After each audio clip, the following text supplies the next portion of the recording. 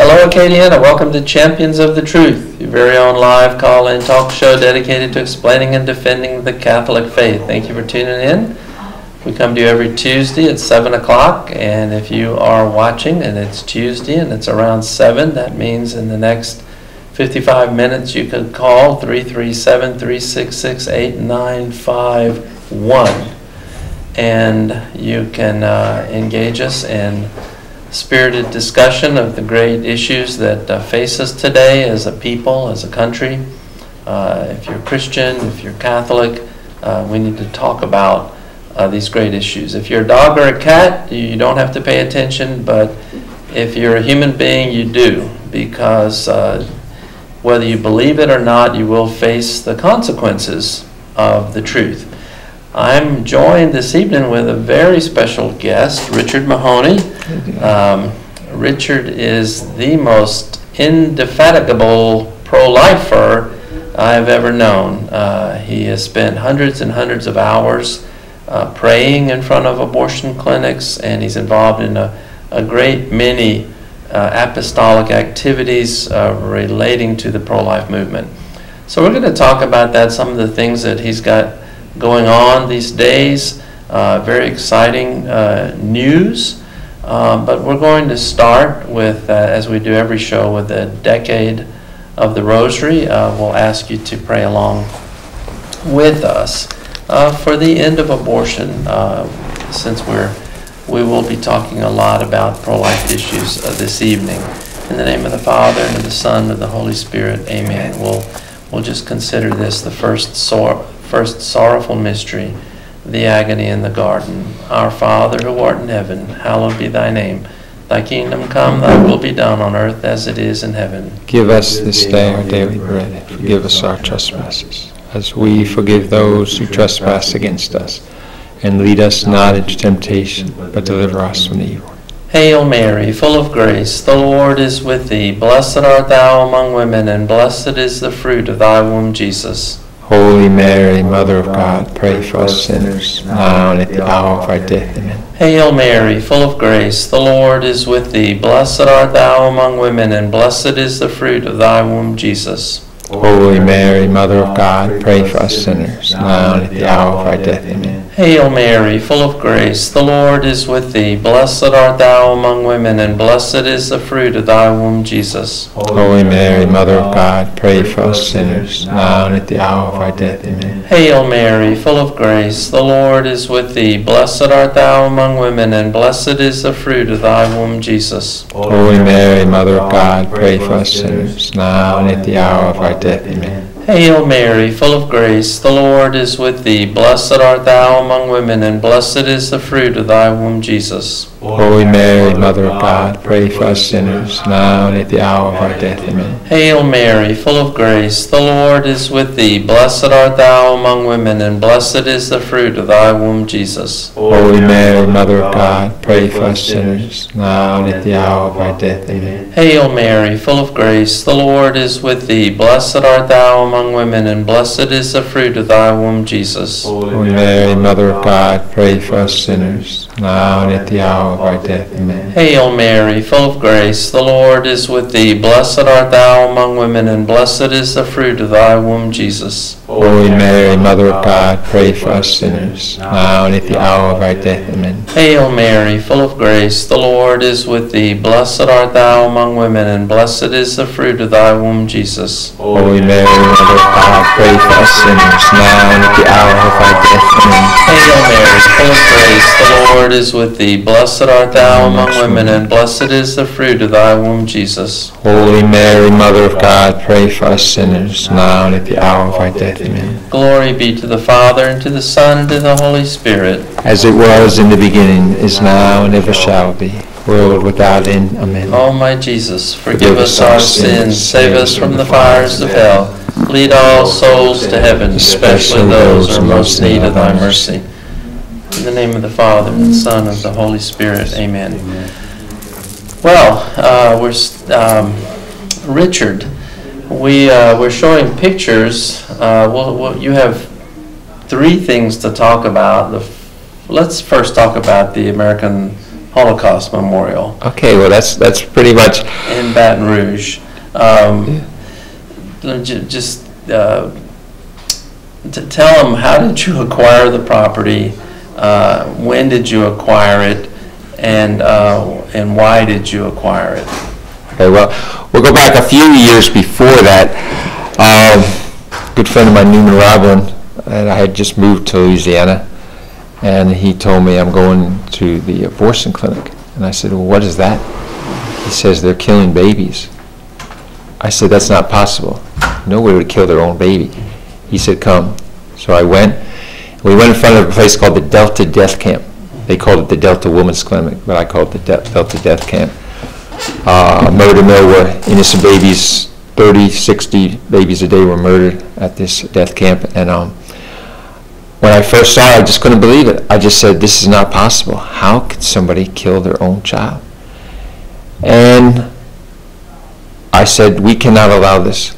And my eyes were open that there's, not only were we doing it at this death camp, but there were 2,170 uh, abortion clinics, murder mills, at that time in this country. Uh, and, I mean, just in New York at that time, uh, it was 255 abortion clinics. They were killing 40,000 babies just in New York a day. So the numbers you get from the CDC, the uh, Department of Health and Hospitals, the Guttmacher Institute, these are all fabricated numbers, as we, as we will talk about later. Uh, we're in a Holocaust of unprecedented magnitude. I prayed, I got on my knees and said, God, we cannot allow this. How can we stop this? And God told me at that point, He said, take a crucifix and go to the foot of the cross. I like, uh, as you have that stained glass window right behind me, of, the, of our Lord's passion. And who's at the foot of the cross? Blessed Virgin Mary, St. John, a few holy women. The rest of his followers have fled. Well, these murder mills, these abortion clinics, are the modern day Golgothas. When we go there, we don't go just to a death camp. We go to the foot of the cross where our Lord and Savior Jesus Christ is being murdered anew. Jesus said, What you do to the least of your brethren, you do to me. And just like at the murder mills, you know, our Blessed Mother's there, St. John, a few holy women, but the rest of Christianity has pretty much fled. They've just basically left our Lord to die alone. And um, so I take a crucifix and I go to the foot of the cross and I, and I pray, make reparation, and I make sure that our Lord doesn't die alone. And then when I can, I try to stop the killing. And in many different formats, whether it be rescue or praying or, or Our Lady Guadalupe Rosary Crusade for Life, where we pray for three days continually around the clock at the foot of the cross to make reparation for each individual baby murdered and for the conversion of their parents and for the conversion of our nation. Just like the prophets of the Old Testament, Jeremiah, Nehemiah, and all the prophets, they wept and they cried and they prayed, God, forgive our nation, forgive us, not just us individually, but us as a nation and individually for turning away from you. And we've turned away from God. And the, what is the result of it? Well, first we have immodesty, then impurity, then fornication, then adultery, then contraception, then murder, then sexual perversion, now distortion and perversion of the sacred sacrament of matrimony. And it goes on and on. And the devil never stops. This is a satanic evil, and we're going to talk about that later in the program. But after nearly 10 years at the foot of the cross, um, and our Lord told us that if we persevered, where God is, the devil can't be. When Christians want to stop evil, they just have to show up and be faithful. And after 10 years of prayer and offering all those prayers, and asking Our Lady Guadalupe to come and offer those prayers to our Lord to the, for the closure of this place, well, the Fed seized the place because they were not only killing babies there, they were dispensing narcotics illegally. And um, unwilling to pay the fines, uh, the Fed seized the place and then put it up at a federal auction. We bought the murder mill, threw the murders out, and we made it a Holocaust memorial. Uh, the rooms that they killed in, as we kept as yours, you can see from this picture that the blood is still on the floors and the walls, the instruments, uh, so people can see where the babies died, see the Holocaust, and hopefully, just like after the war, and people had to go through Auschwitz and Dachau and all the other concentration camps, see the horror that they perpetrated because they didn't follow God, but they followed the will of man, the tyranny of man, and the tyranny of evil governments. And so, thanks be to God, uh, the Holocaust Memorial, it was um, founded in 1994, and uh, we've been going now 21 years. Uh, we had our 20th anniversary last year. And uh, tens of thousands of people have come through and seen the Holocaust and, and repented of the bloodshed there. And their, you know, as we say, their blood cries out. There's, let me interrupt you just a second. There's a couple of things that, that you said that um, are very important for our viewers, and we, and we talk about it frequently on the show. The, first of all, the, the injustice, the tragedy, the inhumanity of the uh, ab- abortions and how, how many there are and how many uh, and how Christians are not doing anything about it. The government's promoting it, not only not doing anything about it. Um, the, the one thing government should be doing is is enforcing the rights of the innocent, and the, they not only don't do that, but they actually promote it terribly. But but having said all of that, what can you do? Well, you talked about some of those things, and at the top of the list, you know, the uh, the Jesus's followers not only were frightened and they fled, but what uh, the the ones who were faithful, Mary and John and the other women, uh, they wanted to be there with him. They didn't fight with the soldiers. Uh, that was not what they were called by God to do at the moment but they still wanted to be there in solidarity. That's the word Yeah. that kept coming to me. And that's what you do. You bring yourselves in solidarity and reparation to these places where this awful injustices are occurring uh, in sympathy and solidarity and prayer for the victims and hopefully changing the minds of the of many of the women who go there and we know that's very often successful but even in the tragic circumstances when it's not successful, you still don't want the little child to die alone. Mhm. Just like Jesus was consoled uh, by the presence of his mother and John there and the other friends, uh, he's consoled. So that, that solidarity with the victims is important. Bringing Jesus' presence, of course, even more important to, to hopefully make the darkness flee, to light this candle and make the darkness flee. So I just wanted to accentuate that, but Yeah. go ahead. And that's not only true, and more important, that we not let our Lord die alone. Um, but, and we'll go into this a little bit later, but uh, one thing that really struck me about Martin Luther King, when he was in the Alabama jail, um, his jailer said, stop putting your morality upon us. He said, I'm not here to put my morality upon you. I'm here to restrain the heartless. Mm. And these are heartless, heartless people that are paid assassins who are paid to kill babies. And now, in the last 20 years, they've been cannibalizing those babies, as, as has been shown again and again, and even now it's on national news. Um, what is very But important. before you leave this idea of Martin Luther, uh, there was a famous scene from, uh, um, I want to say Thoreau, who, who, who wrote, uh, he was a playwright, an author from 100 years ago, I guess. And when they asked him, they, he ended up, he was kind of a pacifist, and they threw him in jail. And uh, Martin Luther King said something similar to what Thoreau said. They said, they said to him, "What are you doing in jail?"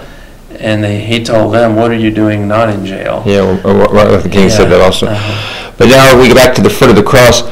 The, uh, if you read the Gospels, and um, you'll notice there's two narrations, and there's two types of people at the cross. Those that were at the foot of the cross, Blessed Mother, St. John, the holy women. And then there's, they said there was those who watched from afar. Well, that's what we have now. We have those who are willing to go to the foot of the cross, to suffer and die with our Lord to stop this Holocaust. And those those who are, play it safe. They stand back far, as long as it doesn't cost them anything, as long as they can just witness and not be affected. People ask me all the time, is it dangerous to go to these murder mills? I said, very dangerous. I say 30 to 60 children are being murdered. The tragedy is we leave unscathed. This is madness. This is, n- this is madness in its highest extreme. Matter of fact, St. Augustine said, the fruit of sin is blindness. Now, one of the things uh, I want to read real quickly is when we first got the Holocaust Memorial, uh, the response of those who came. Matter of fact, it was mostly people from out of town. If you, uh, if you take the percentages over the last 21 years of how many people in Baton Rouge have visited the Holocaust Memorial and how many people uh, have come from other towns, 99% of the people that have visited the Holocaust Memorial come from other towns, mostly in the uh, Acadianas, Lafayette and Sound and Ayers, and you say, well, why is that? Well, if you lived in a town where you allowed the murder of nearly half a million children, half a million, would you want to go see the place and see the rooms where they killed those babies? No, because you would feel guilty that what did you do while this Holocaust was going on in your town? So it's other people that from other towns come and they witness the Holocaust, but the people actually in Baton Rouge very rarely come through to see the Holocaust. One woman came into her abortion clinic that just closed, and this is what she wrote. On entering the death camp, she entered the rooms where the tens of thousands of innocent babies were brutally tortured and murdered. She gazed at the table where the mothers lay to abort their children, and this is what she saw. I saw despair lying there, lying there in the faces of women who could not accept love really exists, and if it did, it would never exist for them. I saw anger lying there. Life was seen as a loveless, joyless proposition, where murder was even better. I saw helplessness lying there, helpless women herded toward abortion by family and friends who believed that it was their duty to allow nothing outside their own pleasure to live. I saw laughter lying there, the laughter of women who thought life was a joke. In all of this, I've talked to hundreds of thousands of women going into abortion clinics. And one thread binds them all together fear.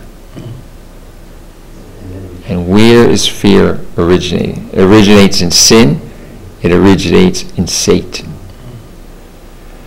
This is no human aberration. The mass slaughter of billions and billions of children worldwide, the sexual perversion rampant worldwide, is not a human weakness or aberration. This is satanically driven.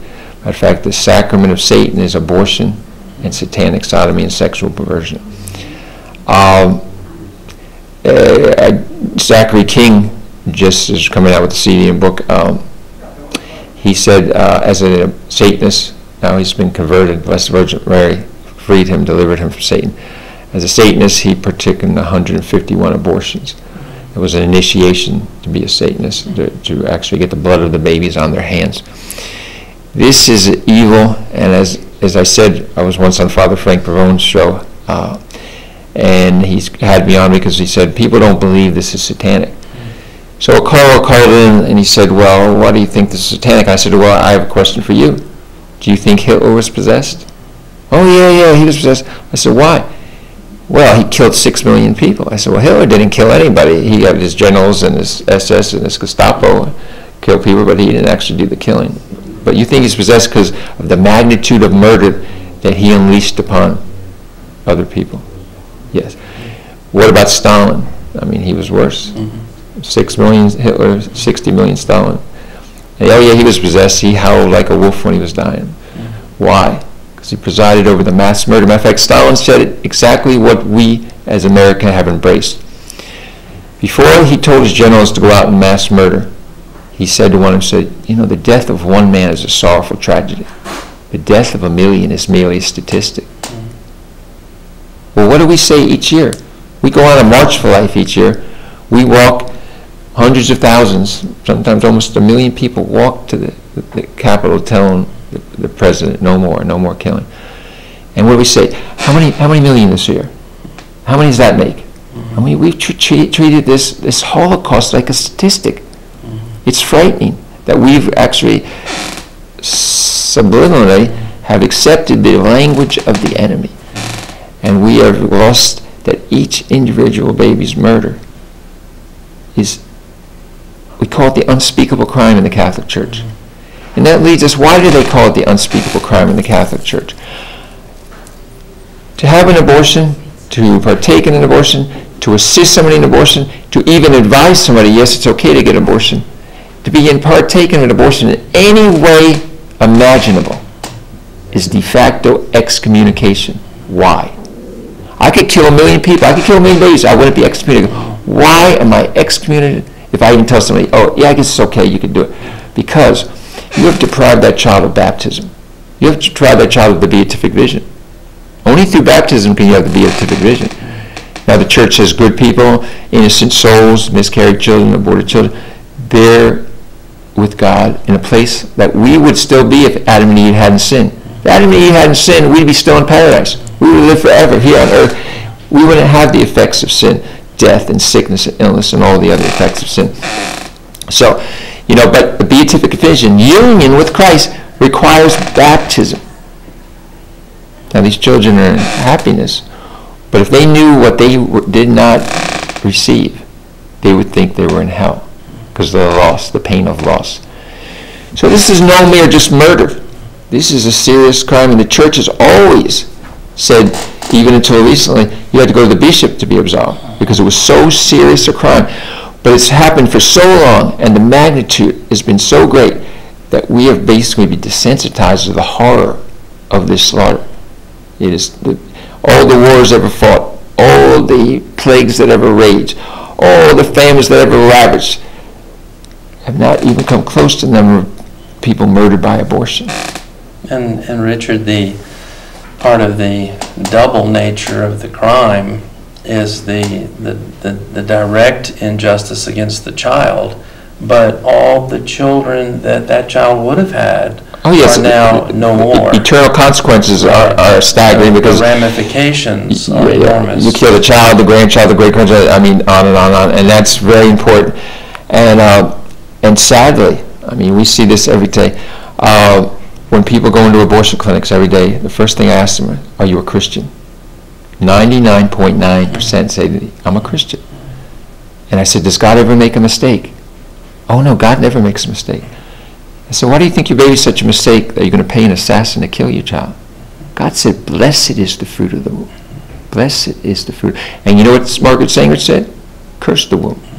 Satan says, curse the womb. Margaret Sanger, you're the weeds of society. We want you dead. We want your children dead. We've mentioned her many times on the show, but Margaret Sanger is the founder of Planned Parenthood, originally the Birth Control League, Yeah. but the, uh, the founder of the movement that is today Planned Parenthood.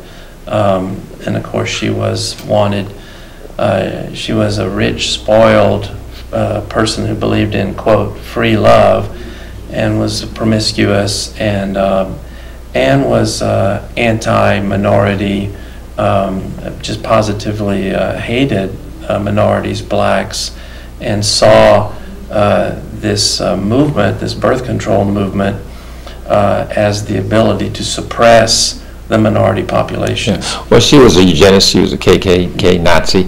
Uh, she believed that these people were the weeds of society, and we've actually embraced that. I mean, I, I deal with politicians, and they, they basically say, well, who's going to get rid of all these unwanted children? I mean, which is horrifying. First of all, a child is not a commodity.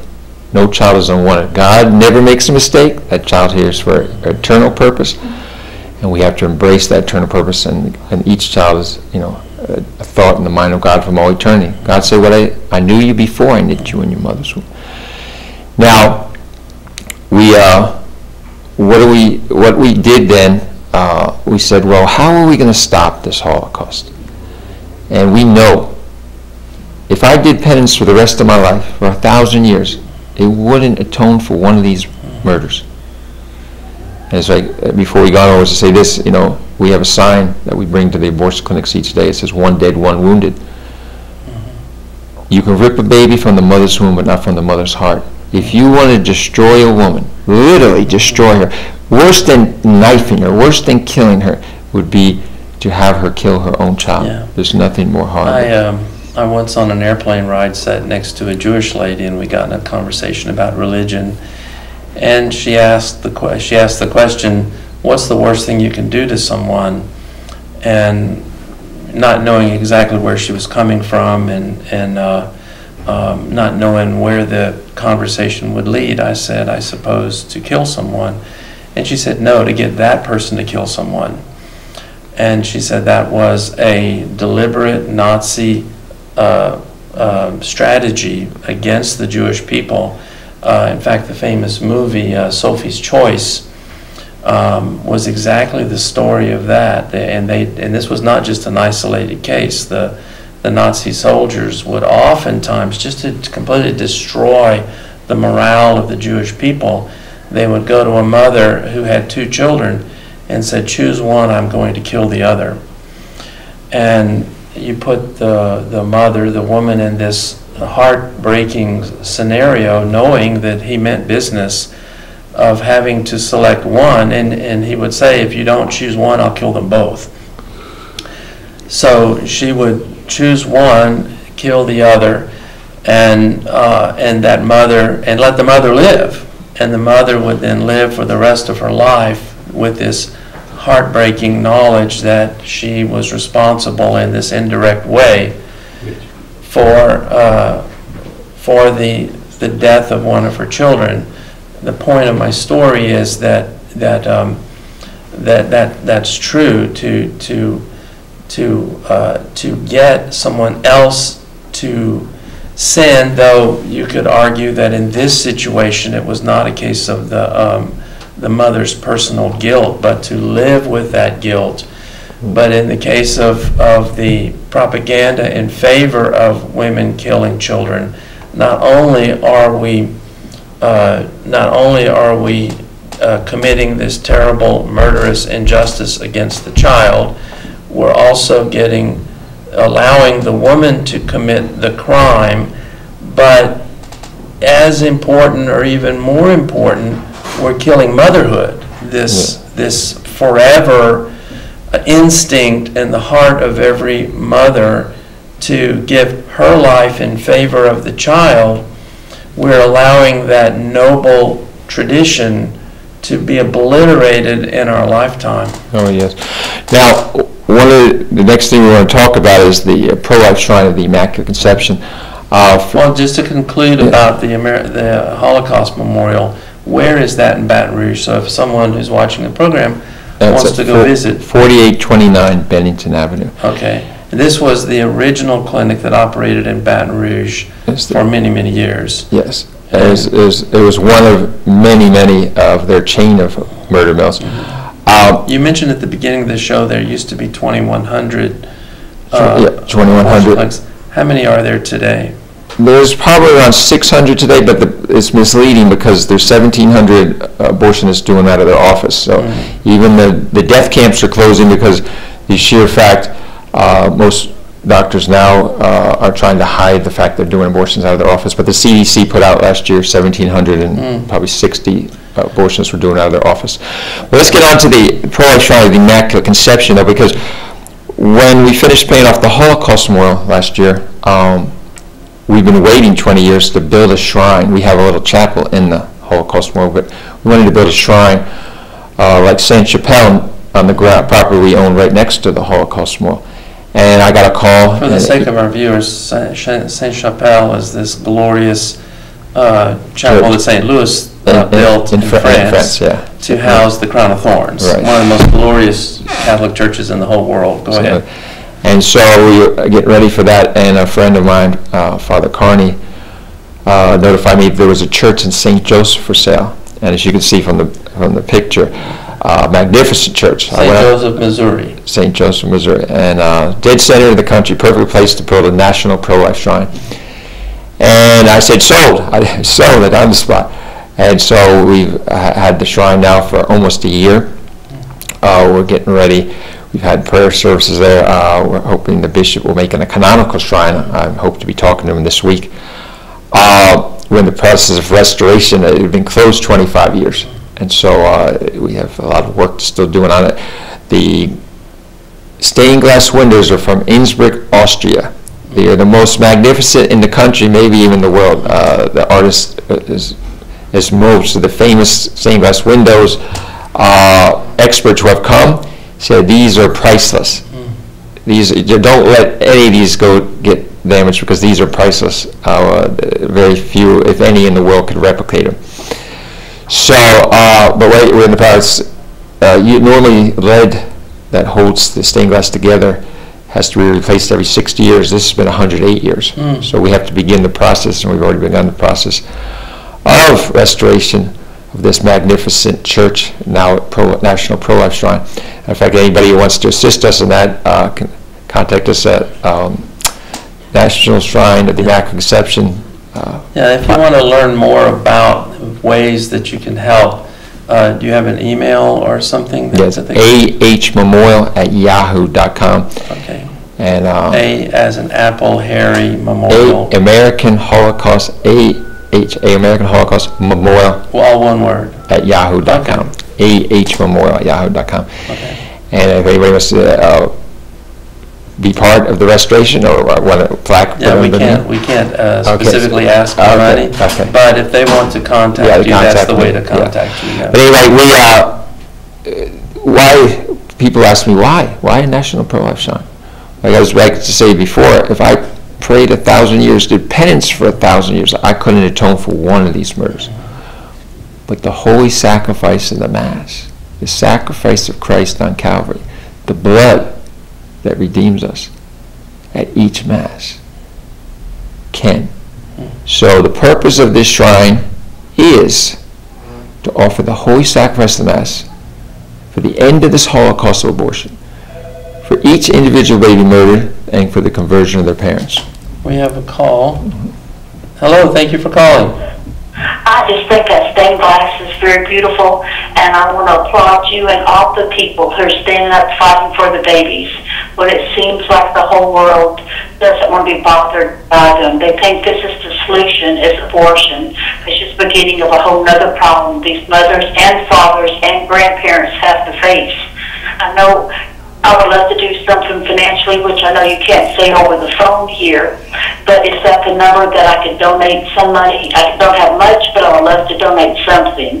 Is that where I would be doing it? Well, And I want to applaud you Yeah. and keep up the good work. And I noticed that's the top of the stained glass, from the way it's beautiful at the top. How big are these stained glass windows? And I want to hang up and I want to applaud you, but I applaud more that you're sticking up for the babies because it's time someone will do that. Thank you and God bless you. Thank you so much for calling. How big are these uh, stained glass? They're like windows? 20 feet by 30 feet. Wow. Yeah, they're very large. They're, they're magnificent. And, you know, I, I, uh, we have a brochure. If you contact me at ahmemorial at yahoo.com, we will gladly send you a brochure all about the shrine. Uh, this is, you know, I have people that actually come to the church because St. Joseph is a historic town, and a lot of people go there for maybe sightseeing. I constantly get every time I'm up there, people come in who just there and see the church and say, "Wow, can I come in?" And I, and I, I say to them, you know, it was the faith of our forefathers. It was the faith of these people that produced this appropriate church for the holy sacrifice of the When Mass. when was it built? 1908. Wow. But anyway, I give him a brochure, and uh, this is what the brochure says. I'm going to just read it real quickly for you to make it simple. For Christian morality and behavior to be reestablished, the truths of the Holy Roman Catholic Church need to be implemented in the minds of all people. Christianity consists in knowing and recognizing what we have lost in Adam and what we have received from our Lord Jesus Christ. The doctrine of original sin and its consequences on one hand, and the grace received through the sacramental life of the Church to counteract these vices and seven deadly sins inherited from our ancestors on the other. Christian society has been invaded by base naturalism, which does not allow man to elevate his thoughts above his feelings, replacing Christian virtue with secular utilitarianism. The sacredness of the sacrament of matrimony must be honored and fostered through devotion to the Holy Family. The world can only be renewed by rest, restoring authentic Christian family life modeled after the love that existed in the Holy Family of Nazareth. It is Catholic teaching that sexuality is ordered to the conjugal love of man and woman in marriage. The physical intimacy of the spouses becomes a sign and pledge of a spiritual communion. The Catholic faithful will learn more than historic Romanesque architecture and the history of the Immaculate Conception Church when they enter the shrine. They will learn the Catholic faith, the holy sacrifice of the Mass and the millennium-old Tridentine Rite, Novus Ordo Mass ad Orientem, uh, Canon 1, Gregorian chant, the Divine Office, Matins, Lauds, Prime, Terce, Sext, Non, Vespers, and Compline, and the mystical life of the Immaculate Virgin Mary portrayed so beautifully in the stained glass windows at the shrine. Free encyclicals Humanae Vitae, Evangelium Vitae, and Corporeum will be offered to all those who enter the shrine of the Immaculate Conception. Many souls will come to admire our Lord Jesus Christ's attributes so wonderfully depicted in the sanctuary and high altar. Our Lord's nobility, grandeur, honor, and beauty so wonderfully portrayed in the priceless artwork and stained glass windows in the shrine. It was the faith of these holy Christians which motivated and inspired them to produce such artistic beauty of God's glory. Yet our Lord Jesus Christ is infinitely greater than all his works and all that humans can create to honor him. We shall come solely to worship and honor him who is the source of all life and beauty, and we thank him for this marvelous shrine in which the priests will offer the sacred mysteries. So this, this shrine is to teach our faith. Because when our faith is embraced, there will be no more Holocaust. There will be no more sexual perversion. There will be no more unwanted people, as the world calls them. And the, the, the world will be renewed, as the popes have in the last century have said, through the Catholic family, through the Christian family. And so we need these shrines. And we need, matter of fact, after we finish uh, with the pro-life shrine of the Immaculate Conception, we want to do a shrine for the sanctity of marriage. And, you know, and reclaim, one of our goals too is to reclaim these churches that are being set for, to be demolished. This church was going to be bulldozed 25 years ago to make a parking lot. And there's churches all around the country, magnificent like this, that are on the chopping block. So, you know, we hope to uh, save other churches. But we, um, we have to understand that we have to begin with our Lord and Savior Jesus Christ and the What holy what I like sacrifice of the Mass. particularly, Richard, about everything that you said, um, you know, a lot of times heaven, you know, the, when you think of the authority of the church and, and, and our Lord who told St. Peter, uh, whatever you declare bound on earth shall be bound in heaven, whatever you declare loosed on earth shall be loosed in heaven. This, this way that heaven acts when his church acts, and everything you said, of course, about the tremendous infinite value of the holy sacrifice of the Mass. But when we unite those infinite values of the holy sacrifice of the Mass under the umbrella of a particular shrine consecrated for that purpose, there is something tremendous that happens in heaven with the outpouring of graces. I'm reminded of the, for those of our viewers who may not be familiar, we've talked about it on previous shows, the sacrifice of the Carmelite nuns to, uh, at the, uh, at near the end of the French Revolution, we'll see in a minute why the French Revolution ended up, the reign of terror ended up um, uh, uh, being uh, petering out. Uh, they were arrested and brought to the guillotine. These uh, Compiègne, I think is how you pronounce it in, in French. Um, the bloodthirsty rebels, the revolutionaries, the mob, had seized them and they were led to the gallows and they offered their lives in a Holocaust so that the, the uh, anti Catholic French bloody revolution, the reign of terror, would end. Um, and when the mob was screaming for their death in the bloodthirsty way that mobs do, uh, they started singing the Salve Regina, and the crowd hushed. But one by one, they were executed. And something like four days later, the reign of terror Yeah. ended. That's the 14 nuns. Yeah. Yeah, uh, the, and, and the point of my story is that heaven honors these kinds of um, these kinds of prayerful, sacrificial moments, and all the more so when you have a magnificent church built in the prime of America's Catholic life, uh, relegated to the dustbin, but now uh, brought back from the Well, uh, let, let me, let me interject on that because this is a whole other program. We, we're actually trying to start up the Order of the Mercedarians to save the babies, but that's a whole other program.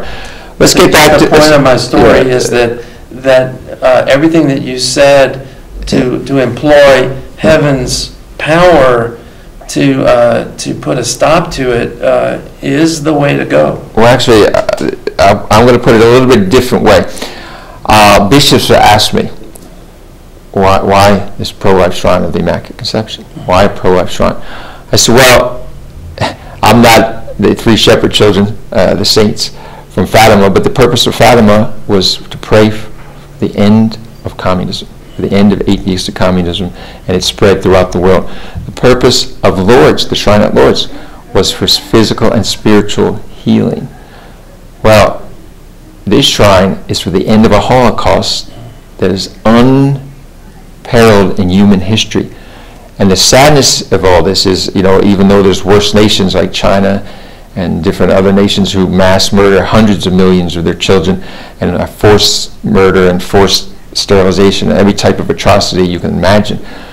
We are unique in America because we're the only country in the world that takes taxpayer dollars and kills in just about every nation in this world. International Planned Parenthood, which is funded by us, UNICEF, and all these organizations, uh, they actually take the U.S. dollar from taxpayers and use it to murder all over the world and spread, as the Pope called it, the culture of death. I, I call it the culture of Satan, murder, uh, throughout the world. We use our money to promote murder and sexual perversion throughout every country in this world that we can get into. So where do we need, the most of all, a shrine in the heart of what God should be, the country that should be protecting God's babies, the country that should be using the money to promote life instead of death. And so we need this national shrine. And I'm trying to get canonical status so every priest in the world and the country can bring pilgrimage. I know I've been to pilgrimage in EWTN in the shrine in Hanceville, where we want people to make pilgrimage to the pro-life shrine of the Immaculate Conception. And it's very centrally located, so Yeah, people it's- can it's- get there from, It's dead center. Matter of fact, the St. Joseph, Missouri is a historic town. Everybody that went out west stopped in St. Joseph. It was a, it was a big Catholic town, a booming town. Uh, at one time, in fact, Pony Express and all these other places, the cattle went through there. Everything went through there. It's still a big cattle place right now. but even from Chicago, it's not that far. Yeah, well, it's equidistant just about from Yeah. everywhere in the country. So, th- plus, he's our patron, St. Joseph. Uh, what, what a better place to have a shrine. Hello, thanks for calling. Uh, hello, uh, James. What a, what a great show tonight. Uh, Yes, I, thank I you. was just wondering. Uh, this is very interesting about the the, sh- the shrine of the Immaculate Conception. Is there a way that we could um, contribute to the shrine? Well, the, as I was explaining earlier, we can't solicit those kinds of Yeah. donations, but if you're interested in helping in any way, um, You not, can you might, uh, not contact- necessarily money, yeah. uh, send an email to ahmemorial at yahoo.com. at yahoo.com. My name is Richard Mahoney, and just send it to my email. And we have a website, a pro-life website, and I'm going to give you that too. It's www.cp4life.org slash memorial. And you can actually take a virtual tour of the American Holocaust Memorial in Baton Rouge. You can also see, we're getting getting ready to put a YouTube on, and you can see pictures and the purpose of the shrine on that website. So Actually, there's a beautiful video, uh, give them that again, CP, Okay, www.cp4life.org slash memorial. And if you don't put slash memorial, you'll go to a different pro-life website. But our website, you'll see uh, the Annunciation, and then you'll, you go click on, uh, and you go to a home page, and you can take a virtual tour, and you also see on the right the pro-life shrine of the Immaculate Conception. So all, everything we in our pro-life work, you can actually see on our website. And if you put American Holocaust Memorial and type that in, Baton Rouge, Louisiana, you also go to the website. And so you can come and, and take a tour of the memorial and also see the shrine and the purpose of the shrine on the, our website. yeah, we often, uh, does that help, Uh, caller? yes, uh, very much so. Wh- Where is it located in, in Missouri? St. Joseph, 501 South 10th Street. Matter of fact, we, we are exactly one half mile on the same block as the co-cathedral where the bishop's at in St. Joseph. And uh, I think they're kind of jealous because I think this church is nicer than the cathedral. I can tell from looking at it, Yeah, it's it's magnificent. magnificent. Matter of fact, under that latex paint, they actually latexed over beautiful artwork. So we uh, hope to restore the artwork, the original, uh, it'll it'll look like something out of Rome, uh, something out of Europe, because it's the magnificent artwork under that latex. It's that very reminiscent Yeah. of the Sainte-Chapelle already. Yeah, and so, but the stained glass windows, the- I think is the only one in the country, or maybe even in the world, that has the mystical life of the Blessed Virgin Mary. Not the life of the Blessed Mother, but the mystical life. uh, how often y'all have prayer vigils? Uh, once every three months, we have privileges there. Now, hopefully shortly, uh, we're going to have mass every day there, and uh, we'll have pilgrimages there. Uh, right now, uh, we just had a new bishop being installed, Bishop Johnston, and I have to meet with him and, um, you know, get the canonical status so priests don't have to, when they come in, each priest go to the diocese and get all, where it will be a canonical shrine where priests will go there on pilgrimage. And it will be a lot simpler for all priests that come in uh, to to offer the holy sacrifice of the Mass for each individual baby murder. Matter of fact, uh, in this country, we have names of hundreds of thousands of babies that were murdered. And uh, we're going to say a Mass for each of those babies. And we're going to pray for the conversion of the parents. And we're going to pray uh, for the end of this Holocaust. And this is the purpose of the shrine. And also, of course, to uh, promote the sanctity of marriage uh, and, and as our model of the Holy Family. And St. Joseph, how, listen, this is more providential. I mean, I, I, I just can't ask God. Is I, I feel like, you know, there's no way, I'm not worthy even to come into this church. Uh, I ask God for a shrine to do, to offer the Holy Sacrifice, the Mass, the sacred mysteries. And he gave me the nicest shrine in, in the dead center of the country. And, and in what town? St. Joseph, St. Joseph. I mean, what can, listen, you know, it's like getting a new bike when you're five years old and it's the nicest bike that you can find. Uh, but this is, of course, uh, spiritual, this is a million, it can't even be compared, but I cannot thank St. Joseph enough or our Blessed Mother. And you know, we've talked about the women uh, and the, the mothers who fail in their responsibilities, who are tricked and deceived and fearfully make these terrible choices. But behind every one of them is a man who's usually pushing them, whether it's the boyfriend or the husband or the father or. That used to be, I hate to interject this, Yeah. no, no, uh, we have not only, when I first went in front of these death camps, yeah, the women were mostly talked to and coerced by boyfriends. In the last 20 years, the madness that has ensued is actually men are coming to try to save their babies from being killed.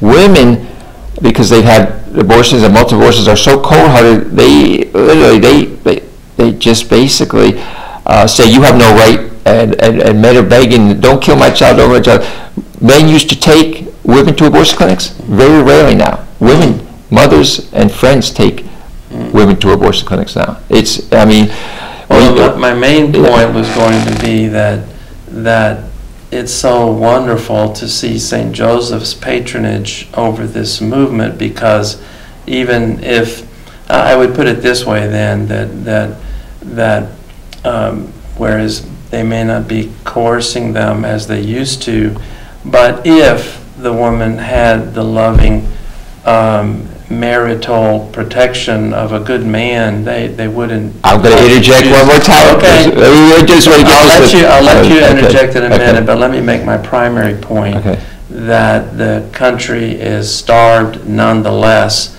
of fatherly attention, and St. Joseph uh, is not, there's not a better model of the heroic man uh, than St. Joseph. Go ahead. Okay, going to interject.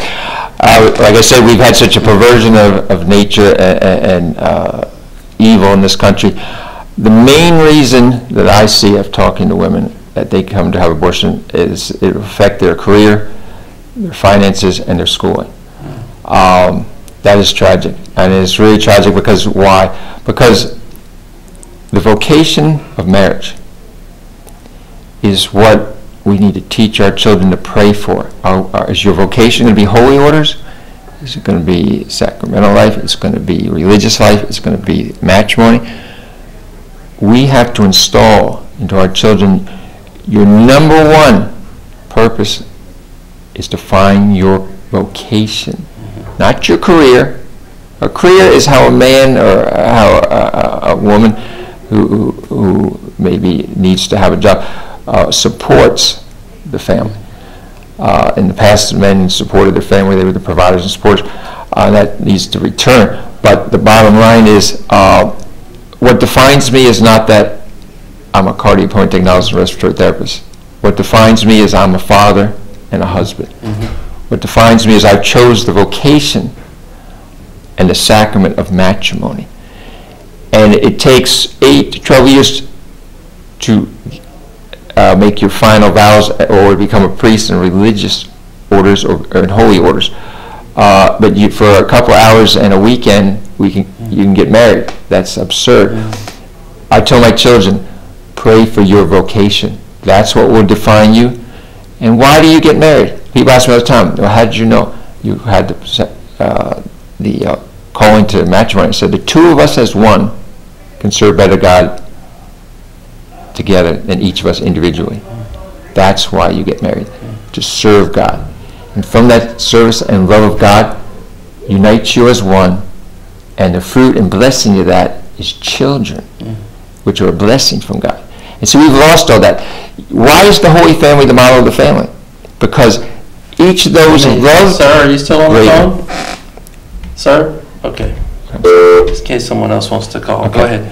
Uh, in the Holy Family, of course, you had our Lord divine. But the members of the Holy Family, they loved and served the other. It wasn't about me. What is it about in America? Me. What am I going to do? Now, the number one reason for abortion is they worship the unholy trinity, me, myself, and I. And people say, oh, no, no, you don't understand the circumstances, you don't understand the, the, the reason. They- No, no. Can have excuses, but not a reason.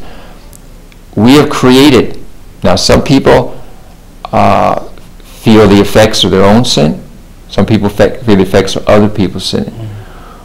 But all of this originates in sin. The unholy trinity, me, myself, and I. Every time I've failed in my life, every time I've sinned in my life, I don't make an excuse for it. I worship the unholy trinity, me, myself, and I. Now, a Christian does the opposite. By the grace of God, we give life. We give our life to give life. And that's what the Holy Family is about. Giving their life for others.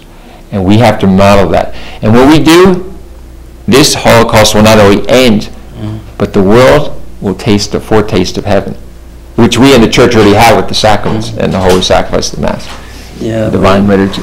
We talk about that frequently on the show, that, that, I'm afraid though, Richard, I mean, the, obviously, the, uh, the bringing heaven's power to focus in this uh, symbolic place uh, of a shrine named for this purpose, uh, that can certainly unleash uh, graces upon the whole planet and upon this country that is so sorely needed.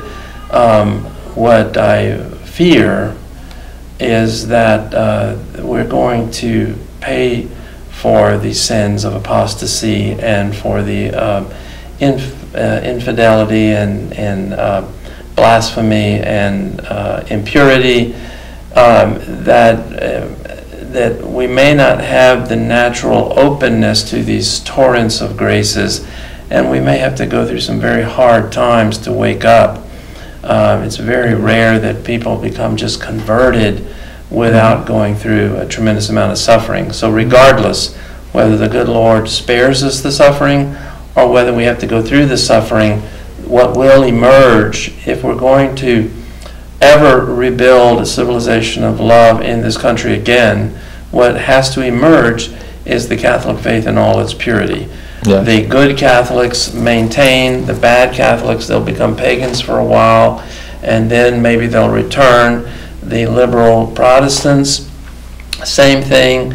The good Protestants will become, will join the good Catholics under the umbrella of the only true unity that can ever exist, which is uh, under the authority of Jesus Christ as King, Mary as his Queen, the authority of the Pope, the bishops in communion with him, and uh, to, to have the truth and the power from the sacraments to live it.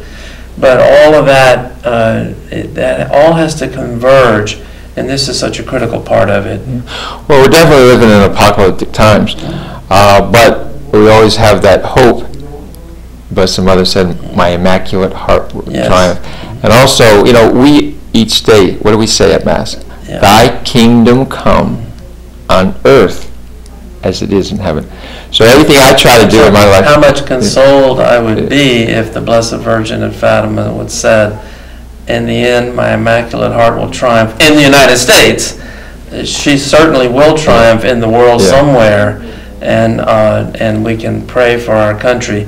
And there's so many uh, virtues in our country, and in some respects, the Protestant, its foundation, is more Catholic than many many Catholic countries. But go ahead, uh, Okay. finish what you were saying. Well, I know this much. We have the ability right now, today in America, to change America overnight. Offer our sufferings each day and unite them with our Lord's at the holy sacrifice of the Mass. Look at all the elderly people in this country that are suffering. Look at all the We have, uh, we have uh, two minutes, Two so minutes. uh, ma- make your uh, appeal. To our people, and then we want to close with the prayer, but go ahead, Okay. you've got two minutes. if everyone is faithful, if everyone perseveres, if everybody offers and unites their sufferings with our Lord's on Calvary at the holy sacrifice of the Mass,